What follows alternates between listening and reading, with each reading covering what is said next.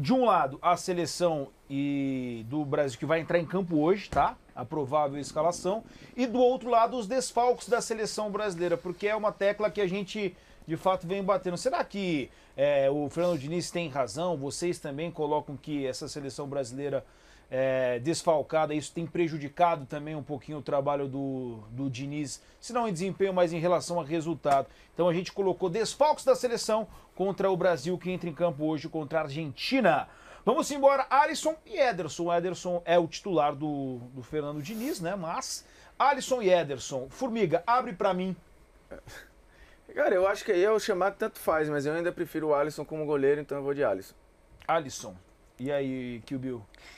Cara, é, é, assim, eu também acho que é muito nivelado, mas o Ederson, ele me coloca um, um, pontinho de adrenalina a mais nos jogos, que eu acho que às vezes ele faz umas loucuras ali saindo com o pé. Então, pro bem do meu coração, é, é Alisson. Não, às vezes ele, ele brinca, cara. Às é, vezes ali, a, o excesso de confiança com o pé, é. cara. E, se não tô equivocado, acho que foi contra o Uruguai mesmo, né? Que, pô, o Fernando Diniz, é, ele coloca ali justamente por conta desse jogo com os pés. E assim, ele deu umas entregadas no sentido de uns sustos, né? Muito grande. Não sei se foi contra o Uruguai ou se foi um jogo anterior, enfim. Mas também não, não chega a ser a nossa senhora com os pés, não. Não sei como a galera enxerga dessa maneira, mas enfim. VS. Pro, pro jogo do Diniz, pra mim é Ederson. Ederson? É. Não, mas é o. Você tem que escolher o teu. Não, é só quem, pro, quem você acha melhor. Diniz, é. Não, quem eu acho melhor, é eu acho o Alisson é, melhor. É, mas, eu acho, mas eu acho que pro, pro que a seleção quer, tem que ser hoje, tem que ser o Ederson. Então você vota no Ederson. Eu voto no Ederson. Então, dito isso, o Alisson é, com dois votos. É, Brasil de hoje, então, pontua. Beleza. É, vamos pro próximo. Pode botar na tela aí, ô produção. Emerson Royal e Danilo. É, que o Bill. Ah, é poupa tempo, né, gente? Vai, vamos ser sérios aqui. É, mas é, é, é, só uma ressalva, tá? Eu acho que o, o Royal ele teve o azar de ser convocado no momento em que ele tá bem mal. Porque quando ele tava bem, ele não teve chance. Só isso. É. Dito isso, Danilo. É, um a um então. Você quer comentar alguma coisa? Não, pra mim é pouco tempo. É, pouco tempo. Embora eu ache que pro estilo de jogo que o, que o Diniz gosta dos laterais, o Danilo não faz muito, tá? Sim. Mas nesse duelo não tem nenhuma dúvida. Aliás, hoje, se eu tivesse qualquer, todos os laterais à disposição, meu lateral seria o Danilo também. Perfeito. Entendeu? É, vamos pro próximo. É, Marquinhos e Militão. É, VS. Hoje, hoje seria, com o Marquinhos do jeito que está, seria o Militão e, e o Fragoso falou aí ao longo da semana nos nossos programas aqui que a sensação de todos que estão lá é que quem o, o indiscutível para o Diniz na zaga era o Militão, que está com um problema grave. Né? Você tem ali um, um adicional que ele pode fazer lateral direita justamente num uma posição que a gente está nessa né, nesse ponto de Que também não faria muito sentido para o jogo do Diniz, mas pode ser. É, mas aí colocar um cara que não está legal e um que, que pelo menos vai cumprir não vai entregar, né? Pode ser, pode ser. É, Giovanna Kiel. É difícil, porque um está lesionado, a gente não sabe como é que volta, né? Lesionado de longa data. E o outro não está no bom momento. Mas assim, de carreira, de carreira. Não, eu digo assim, daquele carreira, que vinha jogando antes de se machucar, né? Ah, então é difícil, né, cara? É, é bem, tempo, é né? uma análise bem complicada, porque o Marquinhos já jogou muita bola. Eu até acho que o Militão não chegou ainda, o auge do Militão, para mim não se compara ao auge do Marquinhos. Tá. O Marquinhos se o Militão já chegou a ser o melhor hoje. zagueiro para mim do, do mundo em Eu acho que inclusive momento. coincidiu quando o Militão tá vendo a sua melhor fase, talvez tenha coincidido inclusive com o auge do Marquinhos. Que era quando o Tite uhum. ficava na dúvida entre Militão e Thiago Silva, não era nem Marquinhos, o Marquinhos era intocável. Uhum. Tá, você foi em quem, Gi? Então, é, vai do critério que eu vou utilizar. Eu vou utilizar a carreira, porque eu não sei como é que o Militão vai, vai voltar. E nesse meio tempo o Marquinhos não, pode assim, se recuperar, se entendeu? É, então, é, é, isso. Tá, a gente não tá. sabe como o Militão vai, vai voltar. Ele pode voltar ruim que nem o Marquinhos. Tá e se no meio tempo aí o Marquinhos melhorar? Fechou. É, tá um a um, o Formiga. Você ah, eu, eu acho a briga boa, acho que tem argumento para os dois lados, mas assim, como o Marquinhos está muito abaixo e, e acho que a transição do Brasil é uma das piores coisas do trabalho do Diniz, a exposição defensiva, eu vou projetar como o Militão parou. Como é, ele estava é, antes da lesão. É, porque assim, é só pra deixar, porque senão, é, é, é senão pode soar, porque, pô, são desfalques, óbvio que eles estão machucados. É né? Militão. Militão? Mas se a, se a gente quiser seguir da carreira também, tá justo. Não, é que nesse caso específico, entendeu? Tá. Nesse que vai ficar muito tempo parado e tal, tá, beleza. 2x1 um, então, desfalques da seleção brasileira. Vamos pro próximo. Gabriel Magalhães. E aí, nesse caso, não é desfalque de Thiago Silva, mas ele fala, né, na, na resposta, ele fala: tem jogadores que eu sei que lá numa Copa do Mundo eu não vou poder contar. Né? Então é, é, cai naquilo que você falou, Formiga, na questão da preparação e escolhas. Só que fosse de repente um jogo único. É, esse jogo e acabou Thiago Silva ou Gabriel Só- Magalhães. Posso dar uma borrefadinha aí rapidinho? Depende. Quando eu falo de interinidade, eu falo esse tipo de decisão. Eu também é. Eu falo É, esse tipo de decisão. Opa. Se, se o Fernando Diniz está pensando assim, eu vou fazer agora o melhor jogo possível, ele Eu tinha digo- que chamar é, o Thiago eu Silva. também acho. Ele Também. tinha que chamar. É. Agora, qual a mensagem que isso vai passar? Se ele chama o Thiago, eu dizer, é a mesma panela, e não sei o quê, aquelas babaquices que o pessoal fala. E quando o Diniz poderia estar pensando, gente, eu tô pensando no, No meu, meu, eu tô é. pensando nos meus oito jogos, acabou. Não quero saber o que vai ser depois. Entre- entendeu? entregar Se fosse isso, ele tinha que chamar o Thiago Silva, porque É. é. o melhor zagueiro brasileiro hoje, ou não é? Então é Thiago Silva. e Tá jogando bem. Pra mim é o Thiago Silva. É o claro. Thiago Silva? Thiago Silva. Apesar do Gabriel no- Magalhães talvez ser. Eu É. acho que o Gabriel tá indo muito bem. Eu acho que ele é o melhor Eu jogador da seleção na. na- se a gente somar os jogos até aqui, Não eu sei. acho que o Gabriel Magalhães foi o mais constante da era Eu Diniz. também. Ele, ele errou demais contra o Uruguai. Ele e todo o sistema defensivo foi muito mal contra a Colômbia. Não sei, não sei se É. tá essa coisa to- toda boa. Mas É, eu, vai dito isso, o Thiago Silva. Eu, eu quero saber da, da Giovana, porque eu sei que gosta bastante do, do Magalhães. Eu acho ele super valorizado, É, mas. eu, eu também não, acho eu não acho, super eu não acho valorizado. super valorizado. Bem e, super valorizado. e, inclusive ele faz bons jogos com Arsenal, num nível de enfrentamento bem alto. E acho que isso tem que ser considerado. É a mesma coisa Mas que eu falo do Silva também, Martinelli. né? Tem, assim, não tô falando em direto pra você, tá? Não, Já que você tá bem. falando.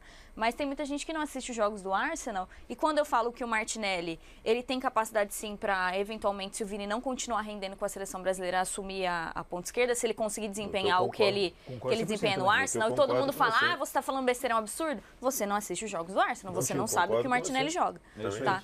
É, mas, mas comparando no geral, é, o Thiago, claro, é, tem melhores É. desempenhos na- atualmente até do que o Magalhães. É o T. Silva. Na mesma liga. Uhum. Vamos pro próximo então. 3x1 desfalques da seleção. É, Carlos Augusto e Caio Henrique.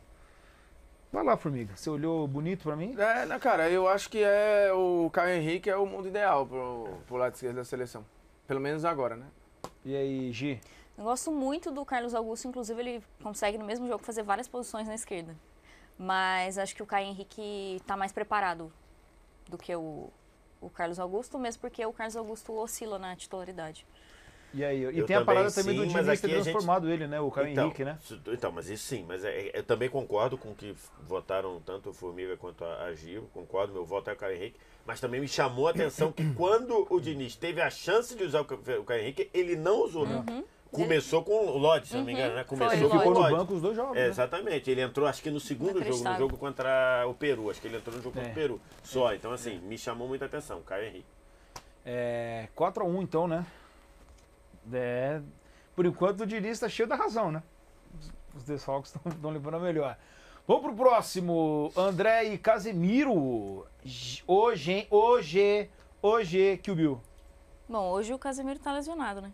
Ah, não, não, Aí não dá pra eu optar por um jogador Pô, eu que tá lesionado. dar Mas um eu sou. aqui. Não, eu sou muito Casemiro. Eu sou muito Casemiro. Eu, eu, é, acho muito complicado ele se adaptar ao estilo do Diniz. Nitidamente ele sofreu com isso.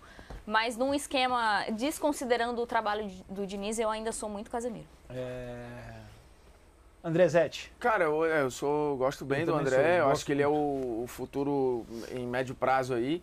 É, assim, pra agora, cara, eu acho que assim, pra um jogo de agora, contra o contra a Argentina, por É, exemplo, é. nessa imposição, naquela dominância, o que o Brasil sofreu de sem cobertura de espaço contra a Colômbia, eu acho que com o Casemiro não sofreria.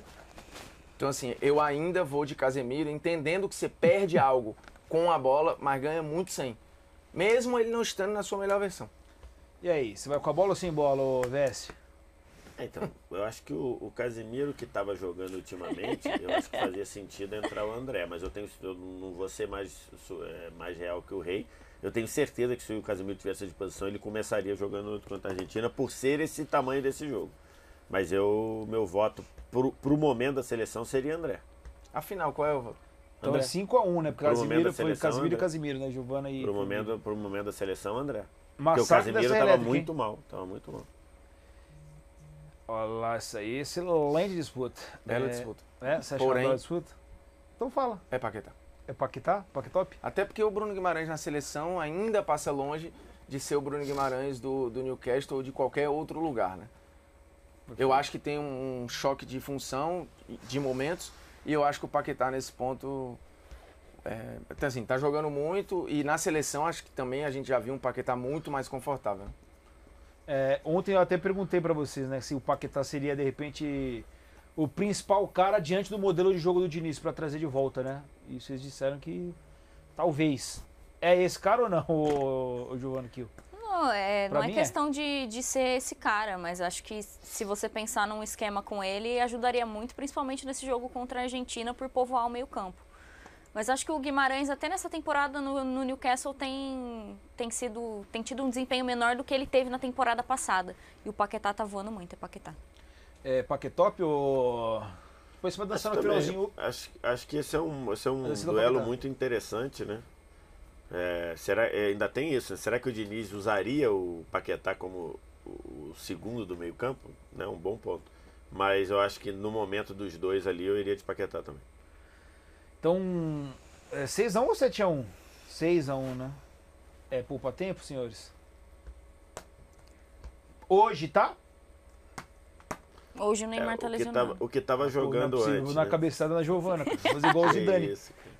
Então, mas aí você quer comparar na época que ele se lesionou com o Rodrigo? O Rodrigo também não tava bem. Um dia antes da lesão, um dia antes da O lesão. Rodrigo também não tava bem. É, os dois- os dois estavam abaixo.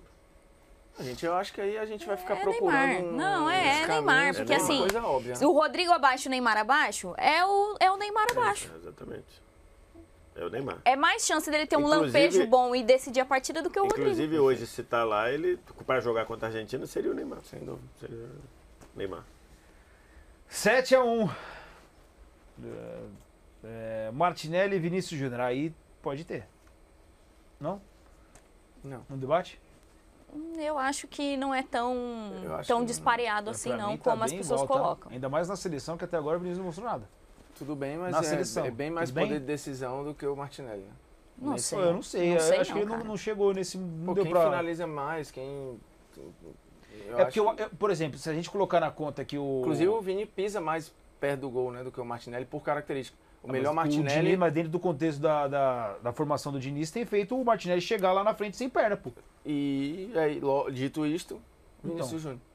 Por que não, mano? Mas é no contexto da seleção. É, o Martinelli foi o Martinelli da, da seleção. Ele teve a do- do- oportunidade pra ser? Não, Acho que não, talvez tenha contra a Argentina. Talvez a gente veja o a Martinelli verdade, do a Arsenal verdade é que o último, é a um verdade é ponto. que o último jogo jogaram os dois, né? Então, Uhum. Assim, É, O que eu acho que o- atrapalhou bem o É, Martinelli. é isso aí. não sei. O primeiro gol é um entendimento excelente dos dois, inclusive. E, e antes e depois do primeiro gol, o Vinícius ainda teve uma outra cabeçada que também foi um entendimento muito bom deles. Então, assim, é, não, não sei se talvez Conexão, no né, momento como defensivo. o- Conexões. é. Bom, dito isso, e aí? Vini Vinícius. Júnior? É, Vinícius? é Ainda, Vinícius. ainda é Vini Júnior, Max. É, é. Tem, Não. que, tem que mostrar, filho. 8 a 1, meu. Brincadeira. Vamos pro próximo aí.